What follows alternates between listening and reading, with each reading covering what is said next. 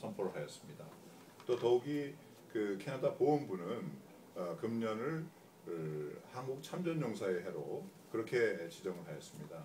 예, 이런 뜻깊은 해를 맞이해서 어, 저는 한국 대사로서 어, 한 캐나다 간의 그간의 에, 특별 동반자 협력 관계를 보다 건설적이며 전략적 협력 동반자 관계로 발전시키기 위해서 어, 캐나다 정부와 국민들과 다양한 협력 방안을 어, 논의하고 협의해 오고 있습니다.